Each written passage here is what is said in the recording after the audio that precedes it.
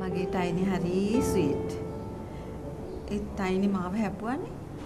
ටයිනි කිව්වේ my pet dog. ඔව්. එයාව බලාගන්න මිනිස්සයා මේ දවස්වල නැහැ. නිකම්ම හැපුවද? No no doctor. I was petting her.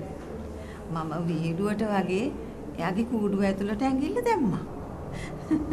I just put my finger inside her cage. Vaccination නම් ඔක්කොම දීලා තියෙන්නේ. ඉන්නකෝ. ආ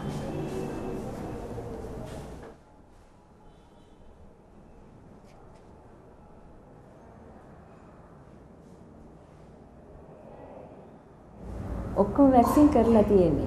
ඒත් අනිවාර්යයෙන්ම සති දෙකක් ටයිනි ගැන සෝදිසියෙන් ඉන්න ඕනි. අපි බේත් ටිකක් විතරක් දාමු. හැබැයි ඊට පස්සේ නම් ටයිනිගේ කූඩුවට ඇඟිල්ල දාන්න එපා. no no doctor.